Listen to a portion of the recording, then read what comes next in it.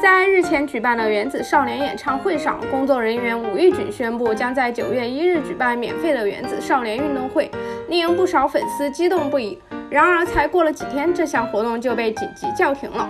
制作人张仁雄担心少年和粉丝们会太热，于是运动会将会延期到秋天，但是具体的时间还没有确定。不过张仁雄还是大方透露，运动会会是团康类型，避免选手们受伤，还能多一些互动，让粉丝们看见偶像私底下不一样的一面。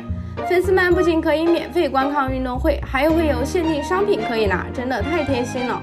作为今年最火选秀节目，《原子少年》选拔出了多位优质少年，给台湾娱乐圈带来生机。《原子少年》能否有第二季，是广大观众关心的话题。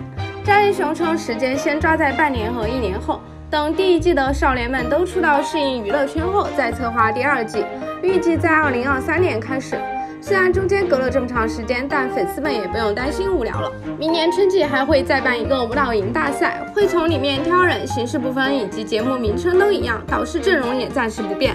八大星球结束了，会再找其他星球，目前已经选出许多人了。除此之外，十月份原子少年还会再加场演唱会，所以粉丝们真的不用担心了。你们期待吗？